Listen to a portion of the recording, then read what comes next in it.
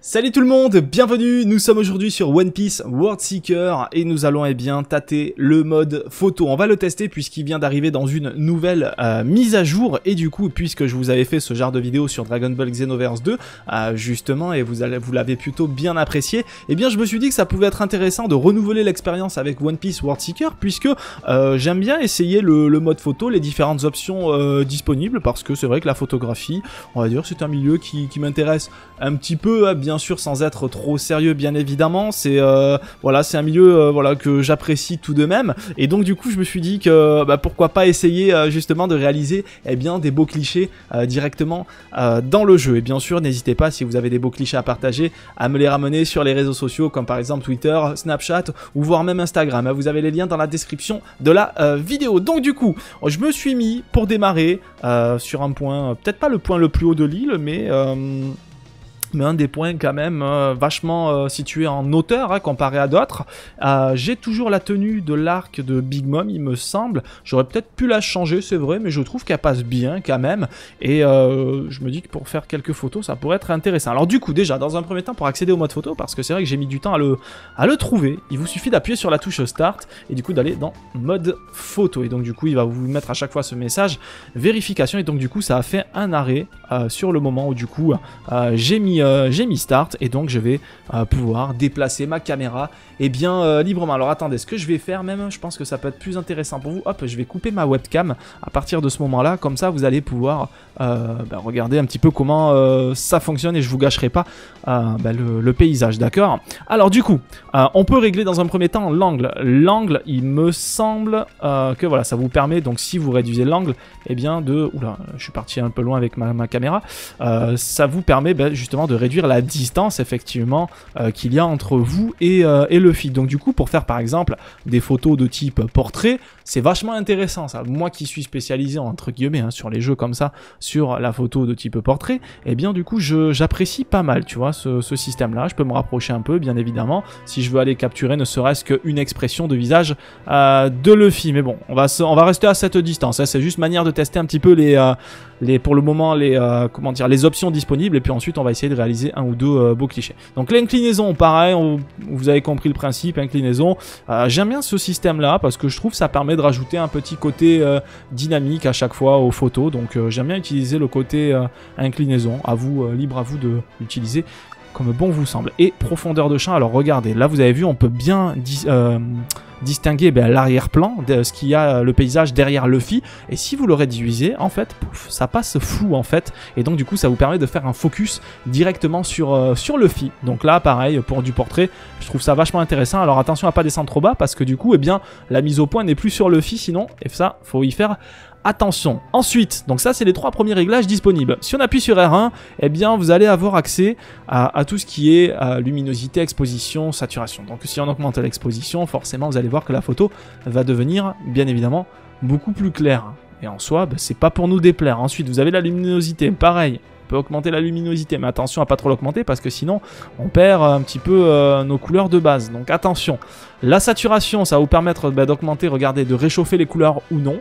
Donc là par exemple le Luffy, vous voyez qu'il est un petit peu trop orange, hein, clairement. Donc ça en général, laissez-le sur le plus équilibré possible. Ou à la rigueur, réduisez un petit peu parce que regardez de base, en fait son costume il est un peu jaune, peut-être à cause du soleil. Bah, si vous avez envie qu'il devienne vraiment blanc le costume, voilà, vous pouvez le mettre euh, comme ceci, du coup, descendre un petit peu la saturation. Et là, vous avez un costume bien, euh, bien blanc.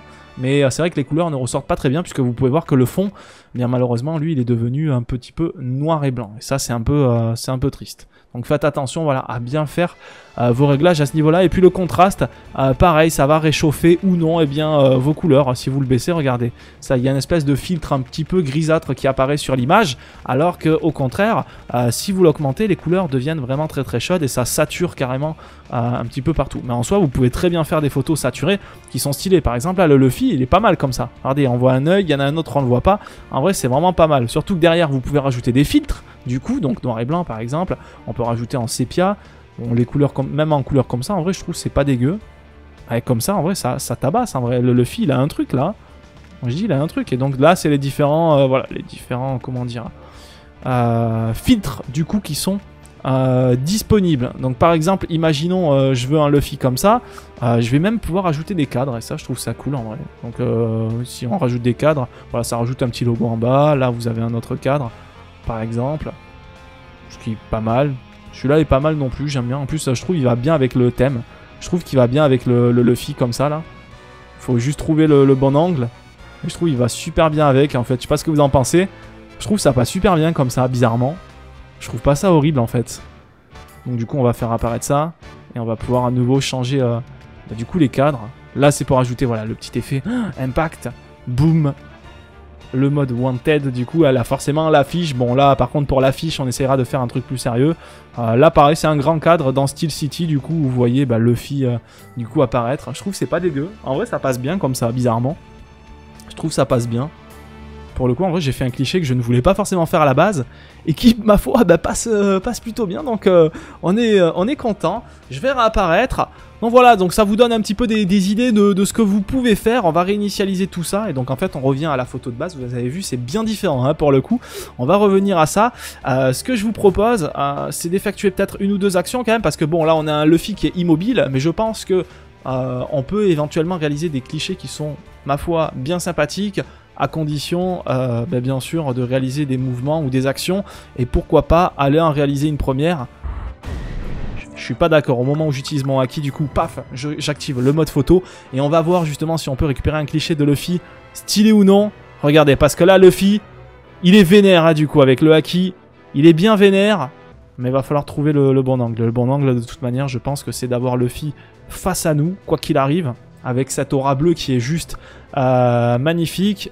En langue, je sais pas trop si j'aimais celui-là ou celui-là. Je pense que celui-là peut être un peu plus intéressant, mais pas trop non plus. Hein. Pas trop, parce que du coup, on veut garder euh, cette photo de base. Exposition. Je vais pas trop le monter, parce que sinon, ça va devenir peut-être un peu trop blanc. Ouais, ça devient peut-être un petit peu trop blanc.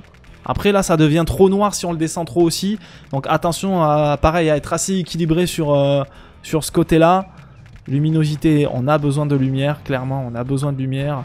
La saturation, il y a moyen que ça ressorte bien bleu, mais après, voilà, le Luffy, lui, va ressortir un petit peu vert, hein, vous voyez sur le chapeau, les éclairs. Ça peut faire un effet aussi, hein, ça peut faire un effet aussi, clairement. Mais bon, c'est pas trop... Euh, c'est pas trop ce que je recherche, et je vais pas trop baisser non plus, parce que sinon, on va être en mode noir et blanc, et noir et blanc, bon, c'est bien, mais...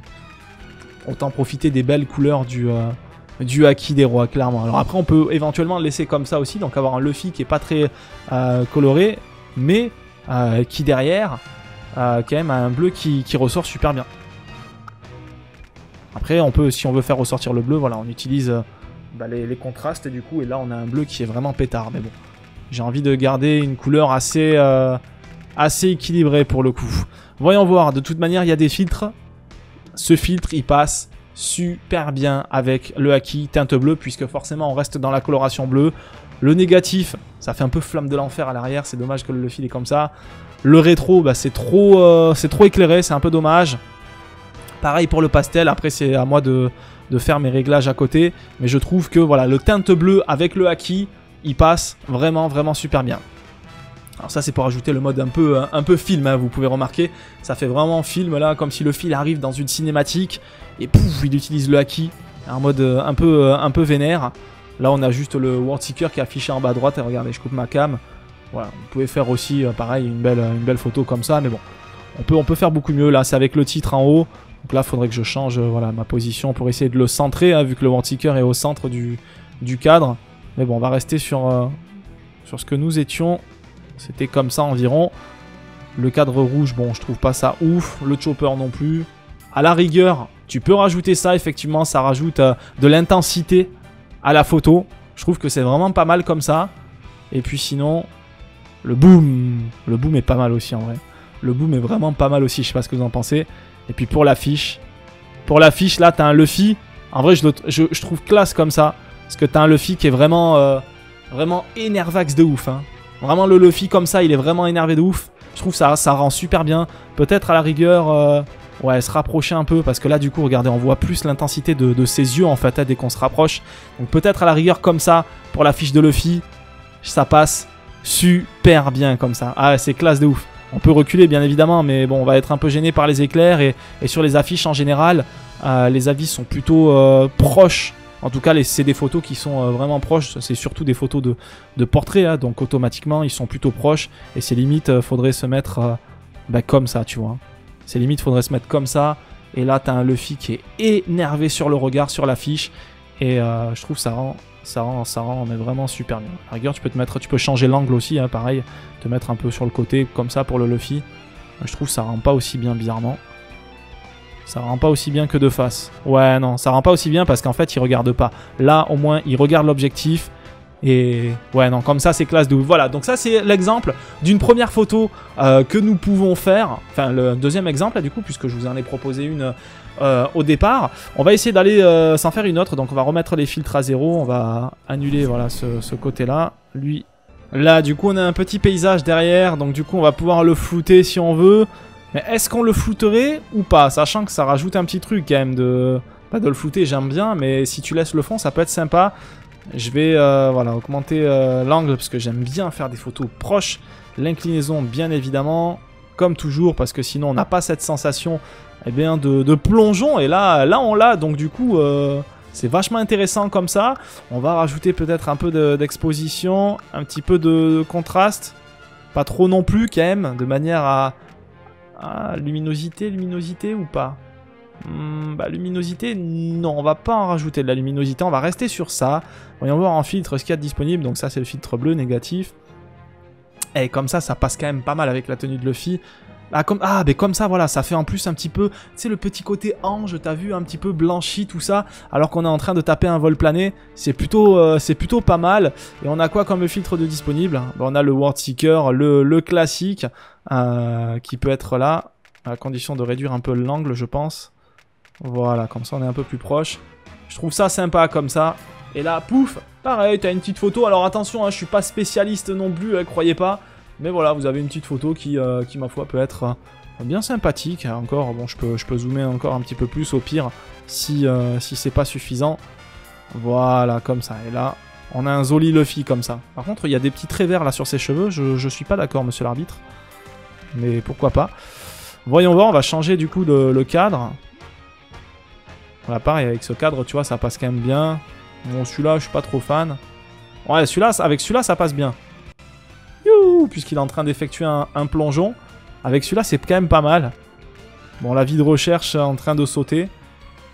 Ouais, c'est pas mal non plus, mais bon, je préfère celui en mode Aki, parce qu'il est beaucoup plus énervé. Et là, par contre, avec ici... Merci Sophie pour l'abonnement, hein, du coup. J'ai oublié de couper les notifs encore une fois.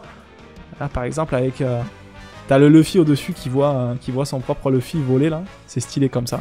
Non, vraiment, vraiment stylé ce, mode photo. Voilà, on a vraiment euh, moyen et possibilité d'aller effectuer des, Vraiment des, des clichés qui sont vraiment cool, quoi. Regarde là, avec une photo prise de l'arrière de Luffy, du coup au moment de l'explosion du Red Hawk, je trouve ça rend super bien aussi pour le coup. Bon, on peut tester avec d'autres cadres, mais vraiment je trouve c'est celui-là qui, qui rend le mieux à la rigueur, avec celui-ci aussi pour rajouter le côté dynamique à la, à la photo. Là t'as le côté boom, donc tu vois le boom est pas mal aussi. Bon, l'affiche non, parce qu'on le voit pas de, portrait. Par contre derrière, ici, pareil, tu peux euh, voilà, faire une grosse explosion. Voilà, je trouve ça rend super bien. Vraiment, c'est grave, euh, grave stylé à ce niveau-là. C'est vraiment, vraiment super beau, quoi. J'adore. Vraiment, il y a tellement de, de possibilités par rapport à, aux animations que tu utilises ou quoi, qui, voilà, je trouve ça vraiment, vraiment super classe, quoi. Là, t'as un Luffy, tu vois, il est vénère aussi. En plus, il a encore une, une petite flamme là à ce niveau-là. Ou à la rigueur, je peux très bien prendre aussi le marine que j'ai envoyé bouler euh, du coup, ça peut être rigolo ou me placer juste dans l'explosion. Enfin voilà, il y a tout plein de possibilités. Je vais pas vous faire une vidéo de 50 minutes non plus. Voilà, c'était manière de vous montrer eh bien, un petit peu ce mode photo et ce que vous pouvez en faire. Donc voilà, n'hésitez pas à m'envoyer vos clichés. Hein, S'il y en a qui s'y amusent, eh bien sur les réseaux sociaux, vous avez les liens dans la description de la vidéo. Merci encore d'avoir visionné eh bien euh, celle-ci. Moi, je vais vous souhaiter de passer une excellente fin de journée et je vais vous dire à très vite euh, pour de nouvelles vidéos sur ce One Piece World Seeker. Ciao tout le monde.